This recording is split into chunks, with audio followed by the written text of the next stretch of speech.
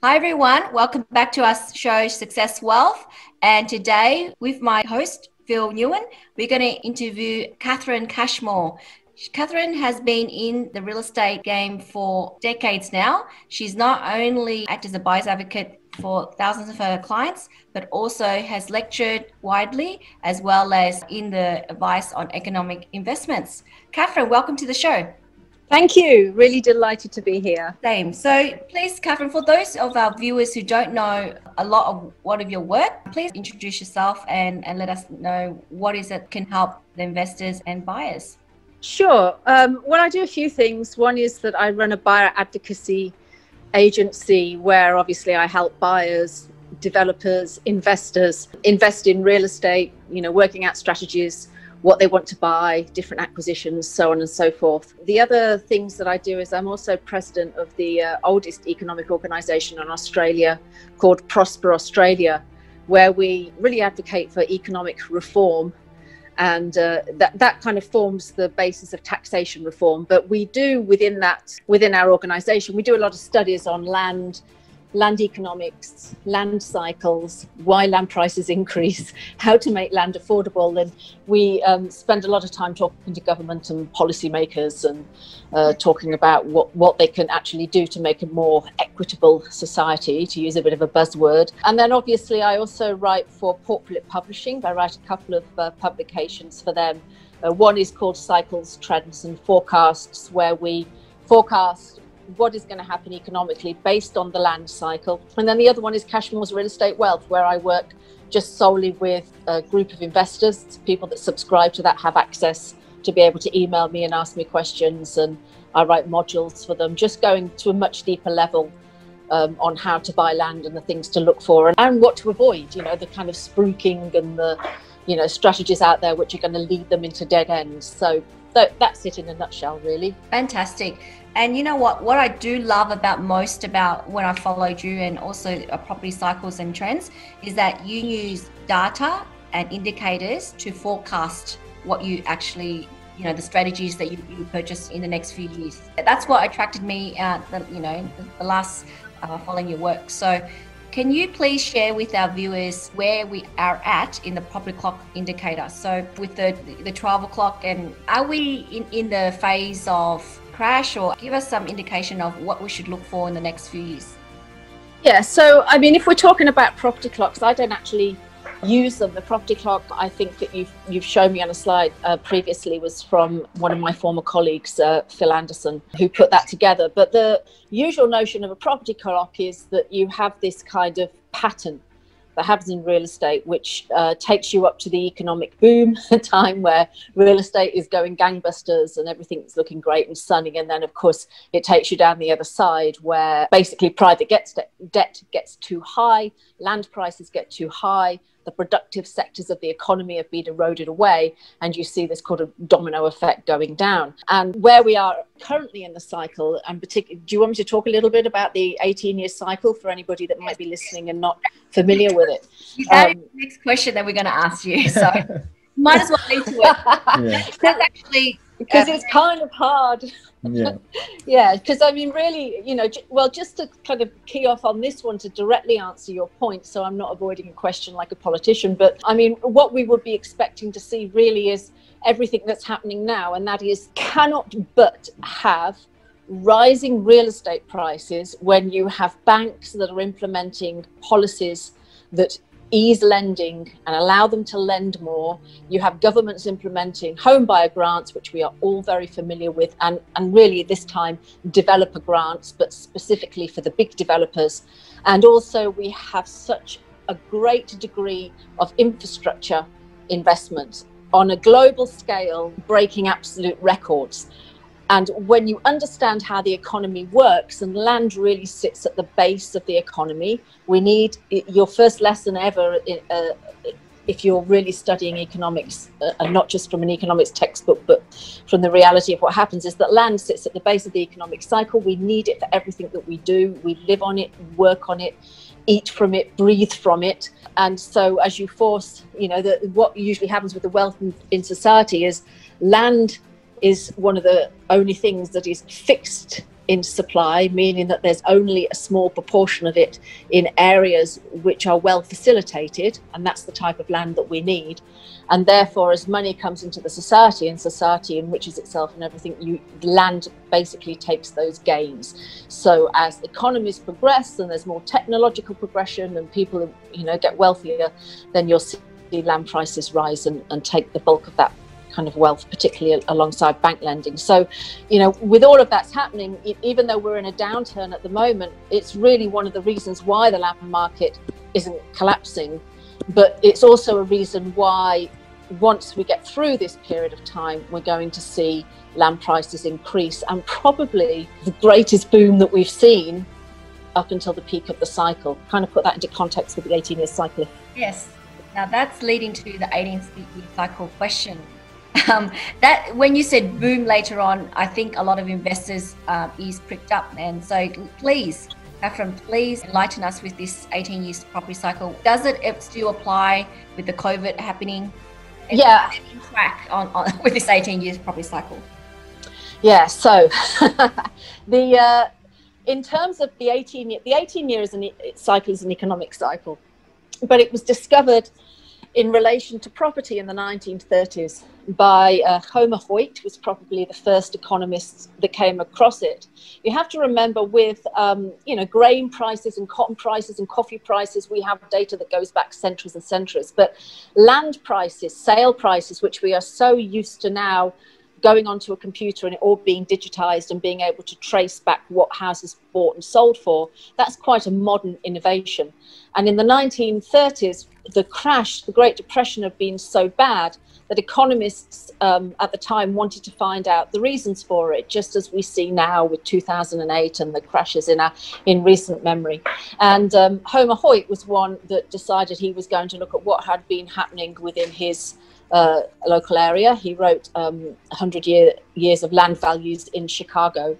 And he had a look at the pattern of land sales. And so he collected data from different real estate agencies, from newspaper, newspaper adverts. He wasn't the only one. There were other um, analysts that were looking at this around the same time. Another guy called Roy Wenzlick, Clarence Long was another one. Anyway, quite a few economists were sort of looking at this question. But what Homer Hoyt discovered, and he was perhaps the first, was that Chicago had this 18 year pattern where um, land would kind of go through this boom cycle. And then at the end of the 18 years, there would be this sharp downturn in the economy, basically a land collapse.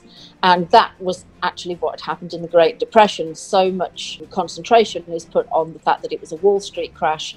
But when you looked at the land data, there was an incredible amount of speculation going on, particularly in Florida um, and other areas of the US. And so Homer Hoyt, obviously the research was taken up, as I mentioned his name before, Roy Wenzlick, who was a real estate valuer, lecturer, lectured on this cycle widely with charts and, you know, actually wrote kind of the real estate analyst, which was a publication, the first of its type, really, for investors and, and people to chart real estate prices. And obviously, he discovered this pattern as well. And it became a well, you know, recognized thing that there was this 18 year cycle that where you would get roughly around 14 years of rising land prices. It wasn't kind of really set, and then a sharp downturn at the um, end of the cycle.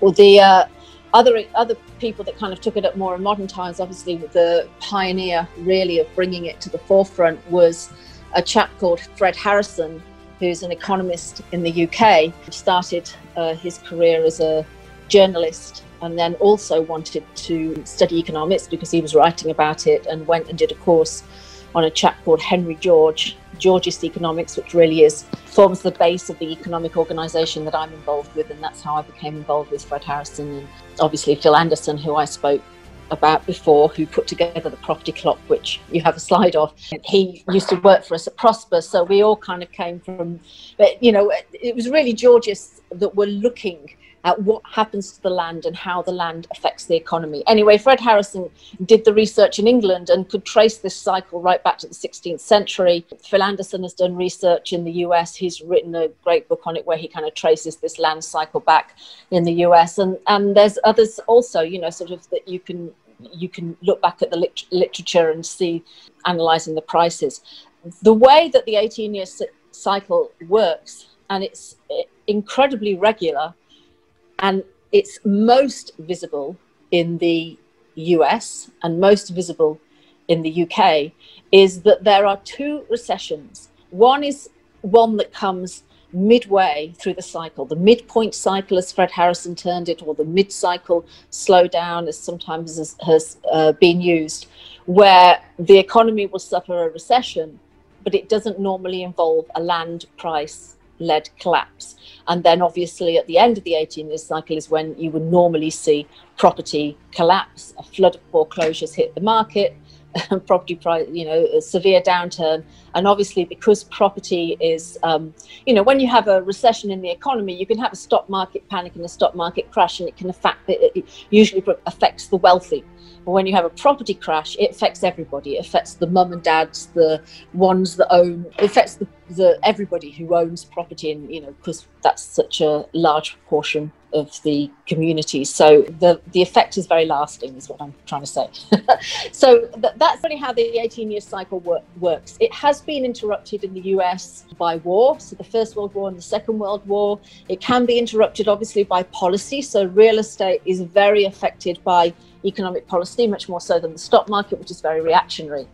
In terms of Australia, that's actually the best lesson that you can get for Australia because I've investigated, obviously, going back in Australia and looked at all the history of it. And although we have correlated with downturns in the 18 year cycle, we've also missed downturns. So 1840 was a significant downturn for us, 1890 was, 1930 was also, although not as bad as 1890, which was the gold boom and bust. So a tremendous amount of money went into real estate. And if any of your listeners are in Melbourne, then they'll know the uh, big mansions down St Kilda Road and that were kind of constructed and built at that time.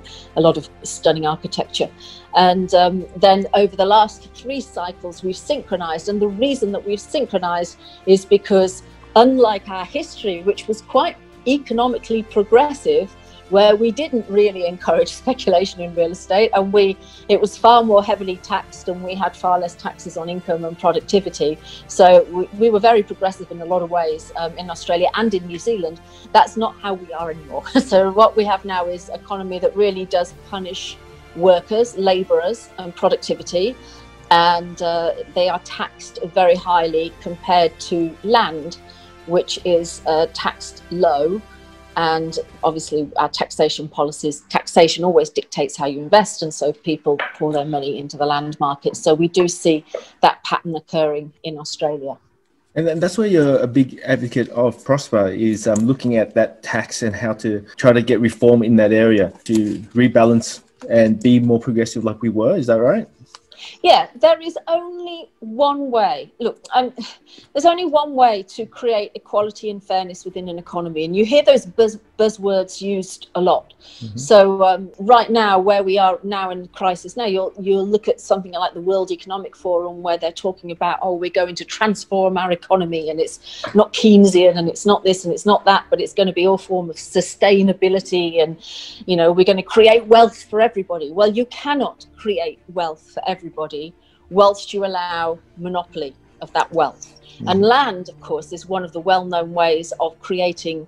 Um, is basically a monopoly market. It's uh, the banks lend 80 to 90 percent against land as collateral, particularly more so in the booms of the cycle. It's a little bit less at the moment. Um, and uh, you know, when you allow land prices to continue going upwards and it all funded by private debt, it just erodes away the productive sectors of the economy and it creates the divides that we see that people talk about the gap you know the 99% and so on and so forth. And so it's a repeating cycle that is caused by the way economics works and it has a obviously a long history behind it as to why we are like that now. It's a plan that, that has been devised um, by governments and we all buy into it and you know without sort of going into the to the whole explanation. What we're trying to do at prosper is make it visible because the way economics was taught, it was uh, changed, and there used to be three factors of production, and uh, you know, land, labour, and capital, and then land was pretty much written out of the economic textbooks, and then we get to an event like 2011, and everybody says, why did it happen? Well, land and actually the bank, the way the actual way the banking system works is never was never taken into account in the mainstream economic models that have this kind of circular e- economy yeah, so I mean, what we do at Prosper really is to try and evidence all the time that land, natural monopolies, you cannot have, you know, a system of equality when you have these things. And, and bear in mind it as well in the economies that we have today, natural monopolies cl- include the electromagnetic sphere. So you, you know, the domain names, the internets, which have as much to do about location and monopolizing those spaces um, and enclosing those spaces, if you like, as uh, land. So it's the agendas that we talk about is how to break those monopolies up. So, in terms of the f- recent federal budget that was released, how would you rate our government cover the common economy, maybe?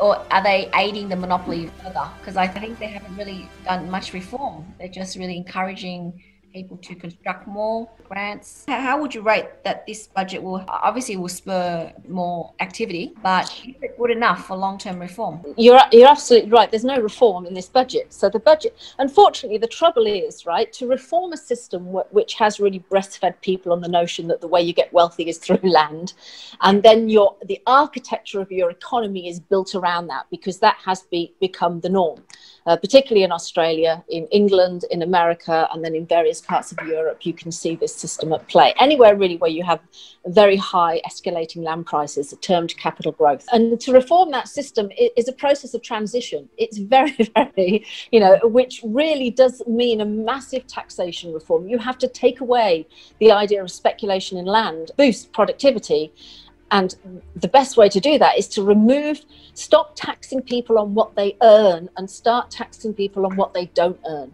So, land, the, as the old economists used to say, owners get wealthy without work or enterprise. You know, people, owners become rich in their sleep without any work or enterprise, right? So, and people here that live in various locations in Melbourne will have seen years where their property prices rise far more than their um, income. They earn more, their property earns more That's than their sure. income, and that rise. Yeah. So there's only one way to to kind of stop this and to reform this, and that is to encourage people to work. So, so we're not going to tax you for what you earn, but we're going to tax away the gains that you get from holding land and completely abolish speculation in land and you know reform the system. But of course, whilst you know, you can write an economic paper explaining that. And actually, the Henry Tax Review did a really good job of it when that came out under the Rudd government. It came out, we were delighted with it and Prosper because it kind of explained this and then explained this transition in order to simplify the tax system and encourage work and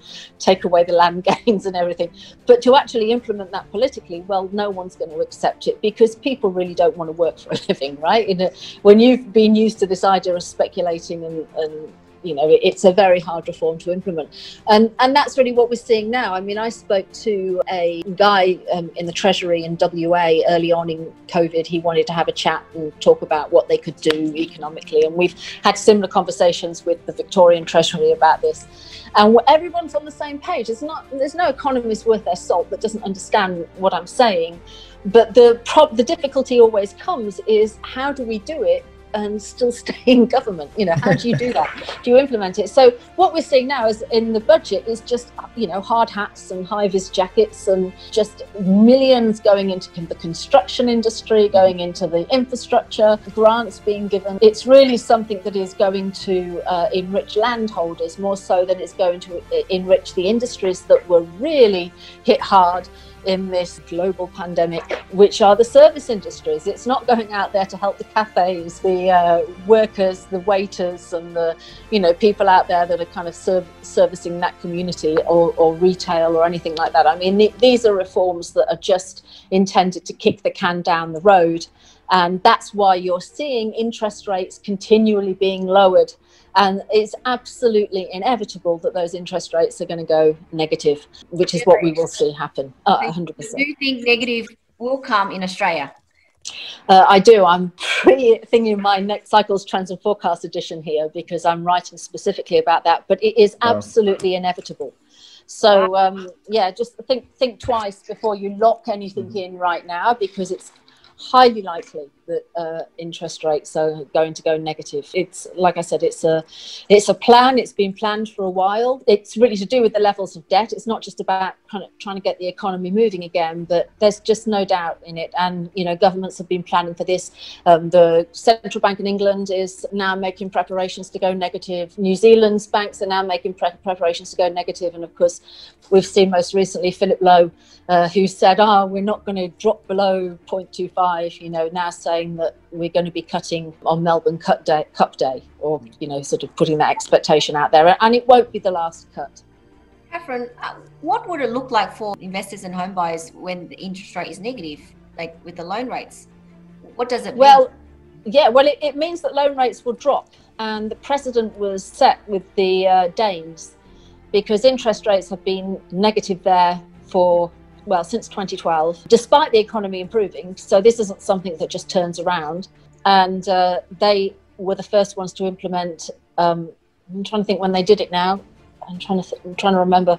Um, I think it was last year that they did it. Anyway, they they implemented the world's first negative interest rate mortgage, um, where it was at negative 0.5 percent so, in, in, other words, people were paying less back on the principal that they borrowed. That's unusual. yes. So, so, so, the loan is reducing by yeah. itself, and then you're paying as well. So, the overall effect is that it's getting smaller quickly.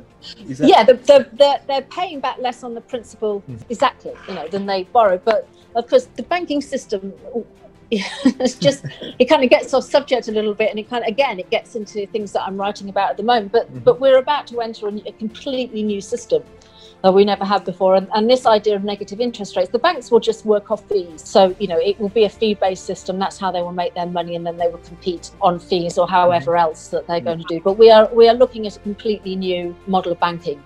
And that really is a subject of private debt because if you go back to you know, never has this been an economic plan previously because I mean, well, after the Second World War, debts you know debts were wiped out. I mean, there wasn't much to invest in, and and you know the economy kind of being currencies were devalued, and if you like, the slate was wiped clean. And of course, if you go back, you know, to the ancient times, there used to be debt jubilees where again, you know, uh, periodically the slate would be wiped clean because debts always have a propensity to rise above people's ability to pay. And the reason that they do is because of the magic of compound interest. It's just maths, right? So when you have exponential debt growth, at some point it's going to be, particularly in our financialized economy, where most of our investment goes into fixed in place assets, you know, real estate, stocks, and bonds. You know, it's not going to build a new factory to create, make things. That's uh, productivity type thing. Correct. So you know, so what we're really doing is is creating this great debt buildup, and somehow that has to the slate has to be wiped clean. Now, you know, when the bank makes the makes a loan on the other side of the accounting sheet, it's called savings. I mean, this, if you like, is a way of writing down the debts. And the savers, you, you can term it a war on savers, but the savers are pretty much the fat ones to be harvested. But you can only imagine what that's going to do to real estate markets in the future, particularly as this is brought in. I mean, it leads to anyone that's researched this. It leads in, you know, leads into a whole host of things which will be implemented that, honestly, where we're sitting now, look pretty horrific. But you know, what we're looking at really is, of course, no one's going to be keeping their money in. Sa- there's no savings account.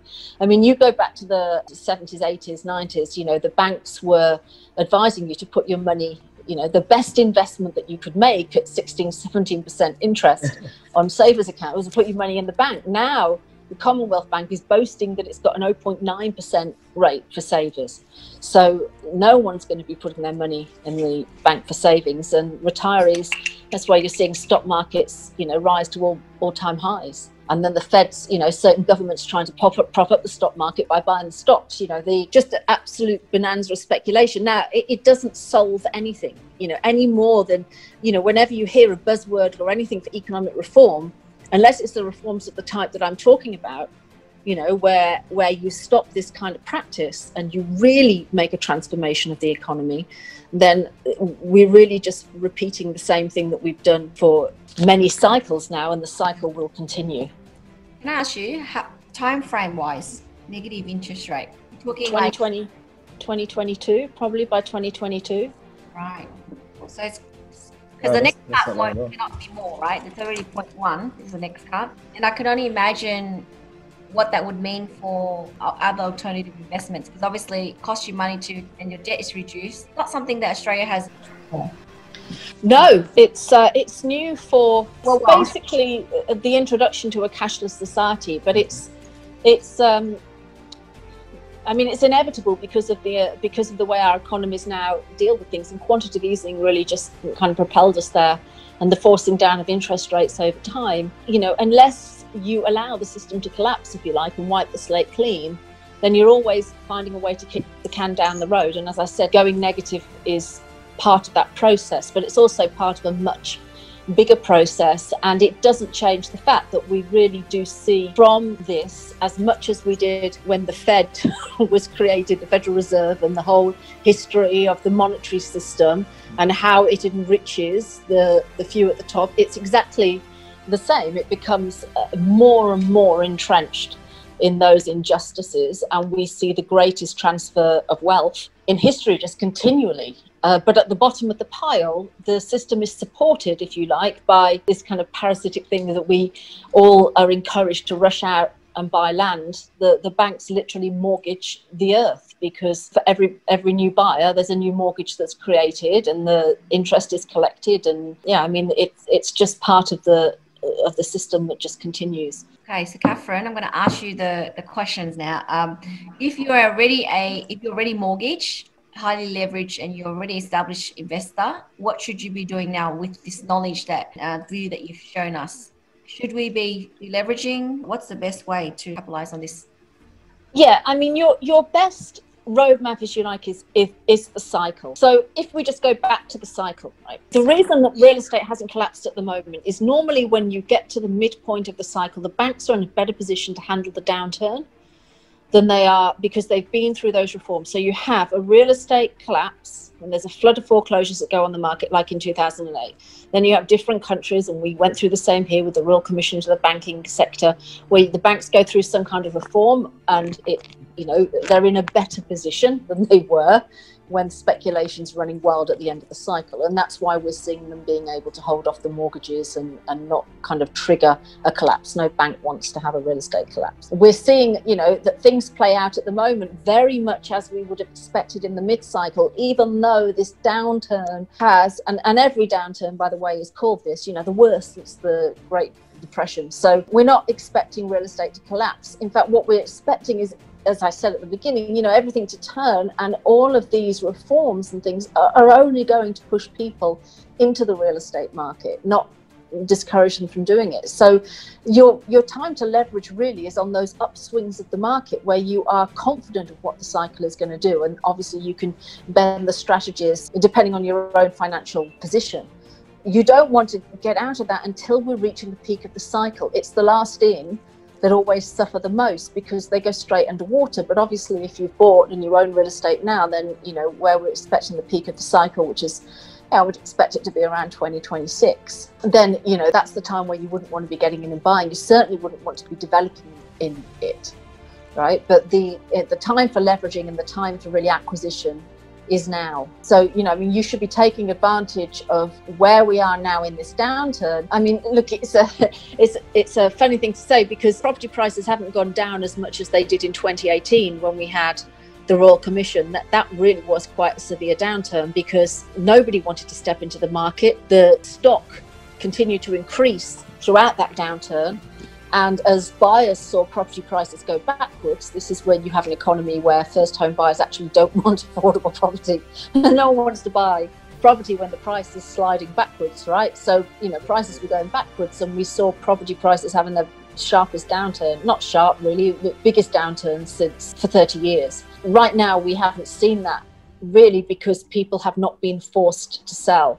So, there's a limited amount of stock on the market and there's a degree of demand out there from people that are looking for places to invest in, and uh, you know the home buyers and that that need to buy. And that's really what's been holding the market up. And in some states, you know, WA, for example, it's a really hot market. WA in Brisbane, areas of Brisbane, also areas of Queensland, where properties are coming on line and then they're being sold you know by the next week we haven't quite seen that in melbourne but even in melbourne i mean what happened over when they shut the real estate industry down and nobody could inspect was there's two cohorts in the market right there's the the buyers that buy for need and the buyers that buy for greed the investors and the home buyers and the home buyers are your regular buying market. So you really always do want a home if you're looking for capital growth, which you should be in Australia because that's really what the market is. You can balance your cash the other way, and you have to, but you have to do it smartly. But buying a house that appeals to a home buyer, for example, because they're the cohort that are always in the market.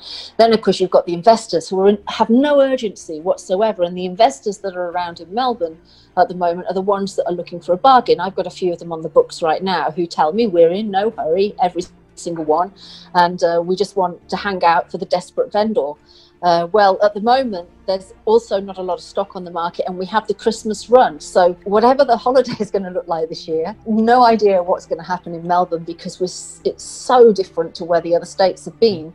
But there is this desperation for people to buy and sell prior to Christmas and get all of that wrapped up. So, the market, even here, has got a little bit of pent up demand and there's a little bit of heat in the market. But even so, if I was really trying to time it, I probably would wait around and see what happens once we've cleared that in Melbourne in particular, because I know you said listeners were in Melbourne. Because I think some of that heat might dissipate from the market next year and uh, then kind of see, because it could be that you, you could have better buying conditions. But ultimately, you know, remembering that every piece of real estate has an individual vendor with a different reason for selling. So a lot of the time it pays to be in the market anyway just keeping an eye on what's going on, having an idea of what you want to buy based on your strategy, and then looking for those properties that have been hanging around for a while and assessing whether they're going to be worth moving in on. Normally, they're hanging around for a while because the vendor expectation is a little bit too high. But if you hover over them, you'll eventually see the price knock off. Other people will have, have moved on because they'll be looking at the new listings that come up, and sometimes you can move in at that point. So, Catherine, we've had Martin North on the show, and he he spoke a, a little bit about uh, mortgage stress and the increase in mortgage stress that he sees, and he, he paints a, a, very different picture moving forward in terms of you know in the next two or three years, where um, he, he says that insolvencies and things like that will actually increase, and that will possibly bring the price down rather than up. Like probably a bit different from what the picture that you're, you're telling us.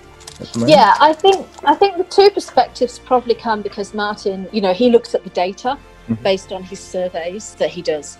And so he kind of postcodes this data and, and works out areas where you're likely to see more insolvencies and speculates forward based on that. Whereas obviously I'm using the cycle and then also my own on the ground experience, assessing what's going on on the ground and working with buyers and really getting an idea of what the heat is in the market and why vendors are selling. And I don't really, you know, I think it's there's definitely something what Martin says in terms of the location, particularly when you go to the outer suburbs where you normally see higher elements of mortgage stress.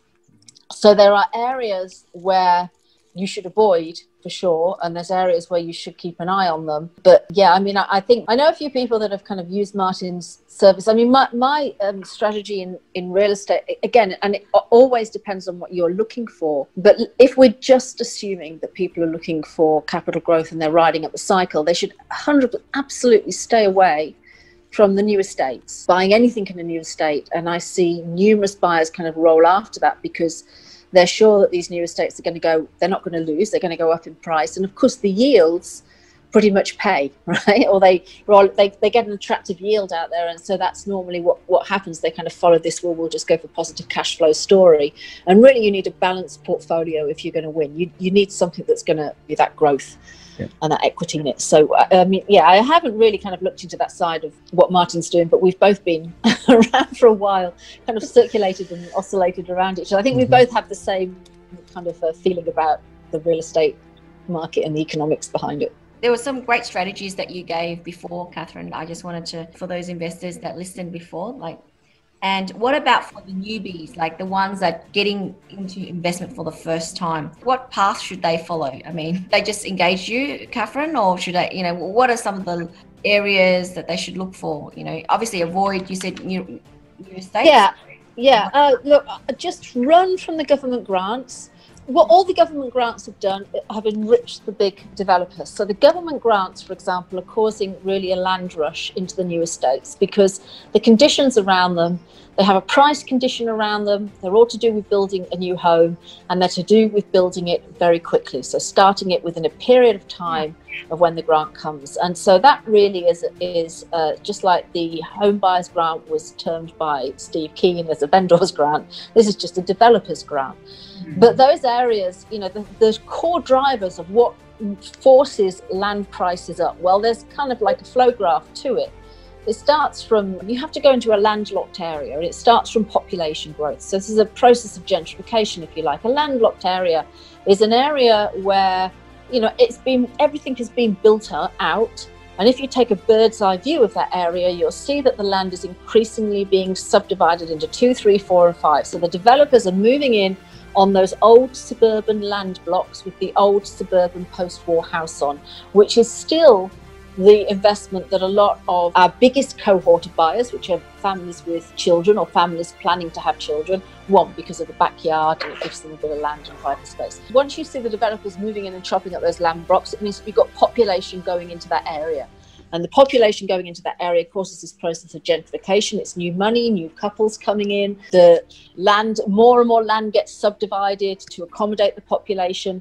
The unbroken blocks of land then naturally decrease in supply. So if you move into an area that is kind of on the cusp of that process happening, so in Melbourne, say, one of the areas that's having that kind of developing is Epping um, because we've seen the ripple. What happened was the southeast priced everybody out, right? You have to go right down to, I know, Aspendale or whatever to buy land under a million, and now it's over a million Aspendale. But you know, you get the idea. So people started to move north of the city, and we saw Preston and Pascoe Vale just suddenly go bananas. Um, in a very short period of time. This is in the first half of the cycle, kind of leading us up to this point. And then Thomastown, Lalor and Thomastown, you know, where you never used to go unless you wanted to be shot. You know, suddenly went through this process of gentrification where now houses sell over a million in yeah. those areas. And so, because it just gets gets pushed further out. Broadmeadows. yeah, broad, well, Broadmeadows, funny enough, got held back in price a little bit. I guess because it still had a, a bogan and, and so there was still an element of about Broadmeadows that buyers were avoiding. But inevitably, these areas have to go. The same with Heidelberg and Heidelberg West. You can look at the socio-economic profiles of them. There's heaps and heaps of information online. Um, about it. So you can kind of judge it based on that because you still do want a decent tenant right? Uh, you, don't want someone that's you know it's it's something that you have to take into account. But yeah anyway the you know epping is the government always has to build there's always a push then with the councils and that to build more infrastructure to cater for the needs of the population moving in. And then of course if you're looking what you're ideally looking for for that capital growth is to get the land block that's unbroken in an area that has zoning, again, depending on your budget, but that allows for decent subdivisions. So subdividing into two, if you can find a land block that's say in a you know residential growth zone, and that's the name we use for the zoning in Melbourne. They they have different names Australia wide for different zones, but allowing greater density, then you're really holding something. You know, you're by its nature going to get more valuable. Yeah. But also in the future, it's going to attract cashed up developers who aren't quite in the market at the moment because it is very hard for a developer to borrow. But they are going to be in the market once the prices start to rise. Because when prices start to rise, it becomes more profitable obviously for developers to move in and and um, you know you'll see this because the next thing we'll really be looking for is rents to rise that they're, they're not there yet because of the, the nature of this crisis. I feel like Dan Andrews whenever I say something that comes close to what he says in his daily press conferences. But yeah, because because of the nature of this crisis, we're not quite seeing you know rents sort of we're not seeing rents go anywhere but backwards. But th- so that you know the the big no nos that you do not want to go for though, whatever strategy you do. Whatever, well, first of all, whatever strategy you do, always take into account that it's nice to have it on land that you can do something with. So even if you are chasing a more positive cash flow and you want to move out into a regional area that has a better yield, you're not going to get as much capital growth, say, but once you've kind of exhausted and you want to change your strategy, maybe you've got some development potential on that block, right? So I kind of like to balance a portfolio out like that. But what you should not do, and it's not difficult, I'm sure, for a lot of people who have already assumed it themselves, is buy brand new property. So, brand new apartments, you know, obviously don't go near them, particularly if you're in Melbourne.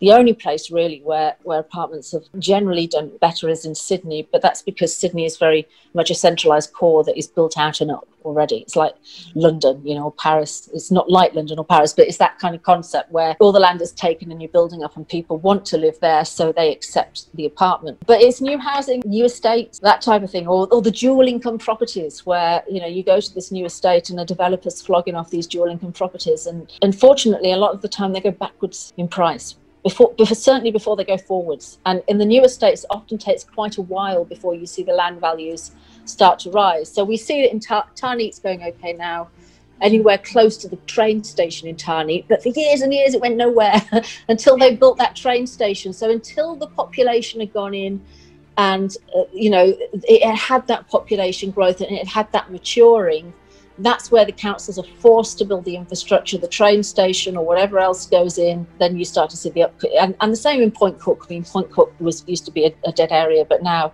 that's had some inflation and, and that go on there. Okay, so, so you you covered a lot of the west and north. What about the southeast?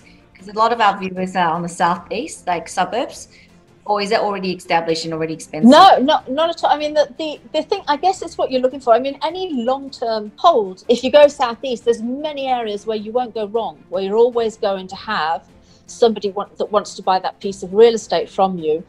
Barring the end of the cycle, depending on the severity of the downturn at the end of the cycle, noting that two things happen at the end of the cycle. One, a flood of foreclosures, which normally try to be drip fed onto the market, but two, that the banks won't lend. And property is essentially worth what the bank's going to lend you. Mm. That's the, the motor of the car that, that, that gets you driving. But the, um, you know, I mean, if you, I mean, I missed out for a um, client of mine just before stage four lockdown in Melbourne on that kind of last day where we were all running around doing the last inspections that we were allowed to do. And um, there was a single level town residents in the McKinnon school zone. And for people that don't know, the McKinnon school is one of the top government schools.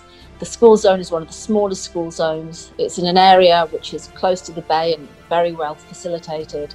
Mm. And uh, the price got more than it would have got last year. I mean, it was there was just so much competition on this little home, which was attractive to a number of demographics. So my language to the, to the, investor that I was working with is that you you know if we can get this for a decent price, we just can't go wrong on it because there's always going to be competition for something like that, and you can see that playing out in COVID. So it's not necessarily that you're going to get a bargain, but it's just that you know identifying those opportunities and trying to be in the market for them before things go bananas.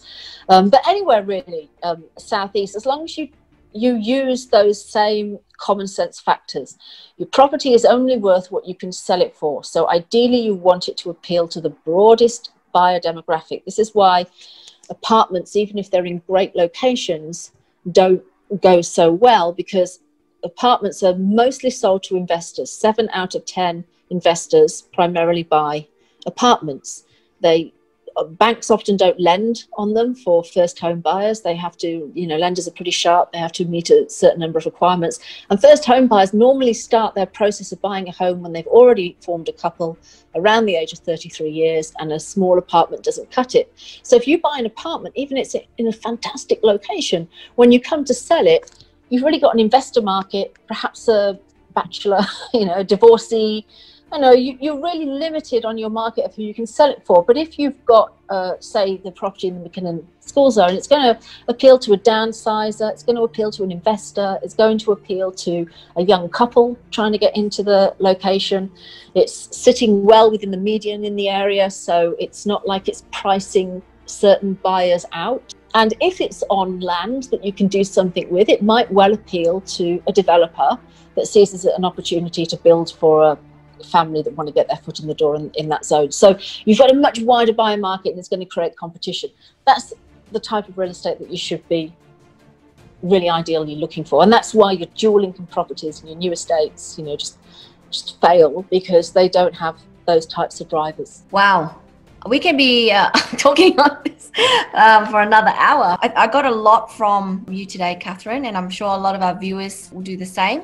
We covered uh, quite a few things. So you mentioned that look out for that the second leg 2026 look out for the negative interest rate which that that actually shocked me yeah it sure uh, and probably and i guess and also you gave some strategies around what to buy and what areas to buy and focus on. And I, and I agree with school zones in melbourne. Melbourne i think i'm not sure with other states but melbourne school zones at the peak is always the one that can't go wrong like always does well in a lot of competition. With with the lack of migration like with the covid shutting down and you know with the chinese not coming to our country do you see that as a lack of demand like reduced demand it's a really, really good point. I'm glad you brought that up because that's actually changed my advice a little bit with investors when they're asking me in, in terms of an Australia wide picture. Melbourne's market has always been driven by population growth, as has Sydney's, but particularly Melbourne, because we've always kind of won out on interstate migration and overseas. And the last time we lost migration like this was in the early 1990s, and um, people just fled from Melbourne, and the economy was really trashed. And it took quite a while for it to turn around.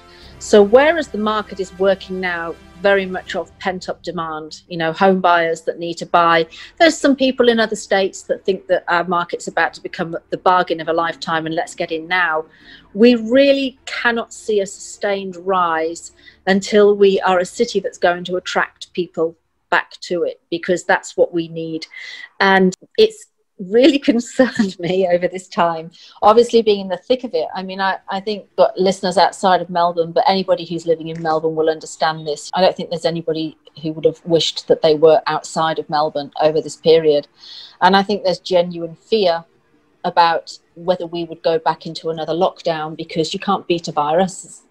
So we haven't beaten anything, we've just suppressed it and we're hanging out to be all be poked with a vaccine. But that does kind of concern me that um, element of it. When they announced the, when they leaked the roadmap, which was wasn't the roadmap, but then actually became the roadmap. We, uh, I just had numerous, numerous calls from people wanting to get out. Some people have already sold now and gone.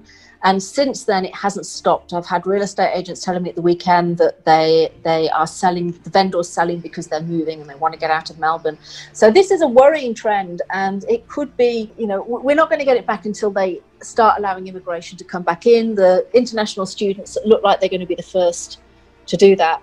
But until we get that, and from what I am reading, that's not going to be until the end of next year. So until we really get immigration pumping again, then it could take a while. You know, Mel- Melbourne may not see as good a gains, for example, as you will get in WA, where these the states that are going to pick up on internal migration. So people moving from Melbourne or moving from Sydney or wherever that is too expensive, or going to other states and looking for better work opportunities. That kind of change that COVID has brought forward for all of us to think about: Do we really want to live here?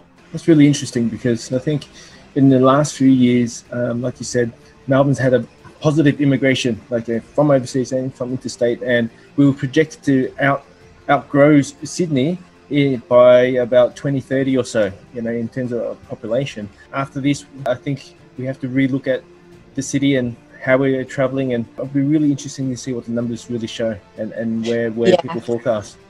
Yeah, yeah, t- I totally agree. It's actually a cautionary point because um, I did some forecasting state by state back in December mm. last year where we knew a downturn was coming, right?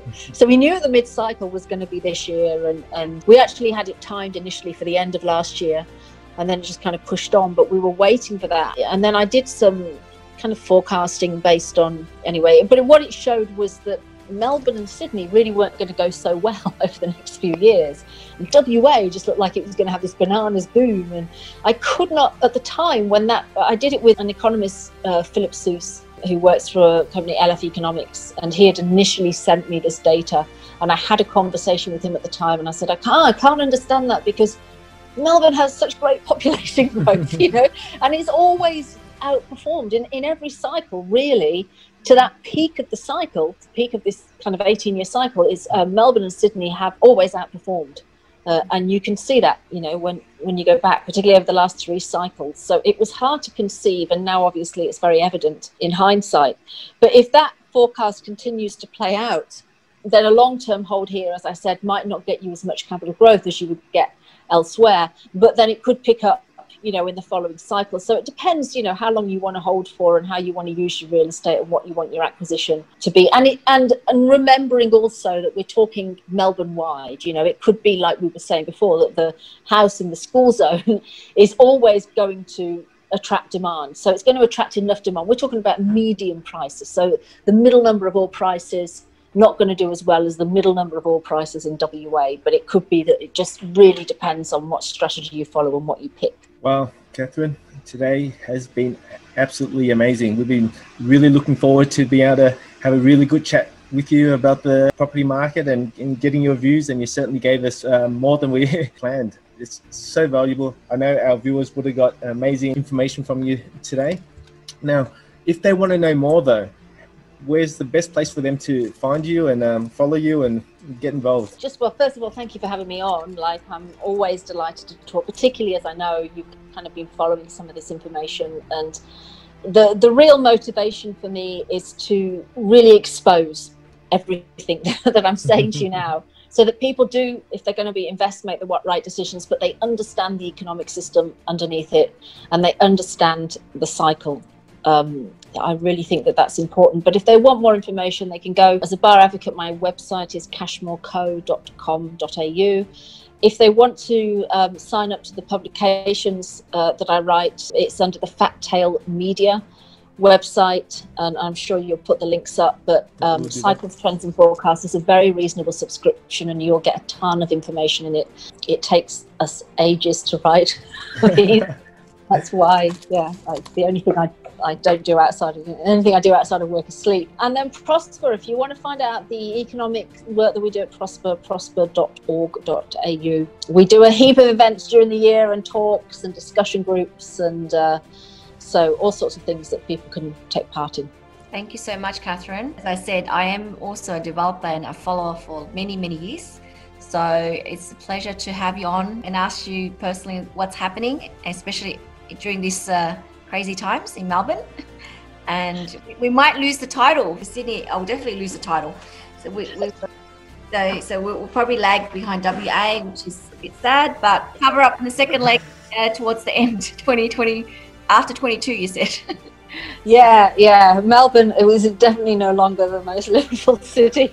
I mean, yeah, we, we've really been through it in Melbourne. So I think we've all really felt the pain of uh, what's happened over the last few weeks. Thank you so much, Catherine. For those, we'll definitely put your your links uh, at the bottom of the video. And yeah, please get in touch with this lady. She is very knowledgeable and about everything in, in real estate. And I do encourage you to subscribe to the Fat Media subscription because I'm I've been part of it and it's amazing value. So thank you again. Thank you. Thanks so much. Thanks. Bye. Bye. Bye.